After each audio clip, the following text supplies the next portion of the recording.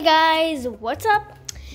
Gamer Boy back here again. This is my second video I'm gonna make. If you've ever watched Sheet Perfect, you'll know about bucket list. I'm kind of making a bucket list for things I'm gonna do for content and for fun. But of course, even if it's just for fun, it's also gonna end up being content if I can ever peel this banana. Anyway, what we're doing is we're smearing this right here, the back of my hair.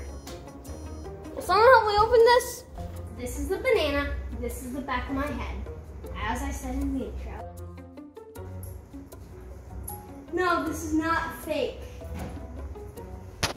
Yes, I got the idea from my hair dye. Jake can have that. Jake, say hi to the oh my goodness.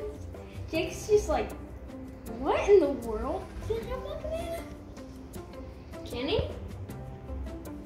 Alexa, can dogs have bananas? Bananas are a safe food for dogs. Okay. Okay. That's my banana hair. Not dye, straight up bananas. And that is bananas. And now we're heading to the outro.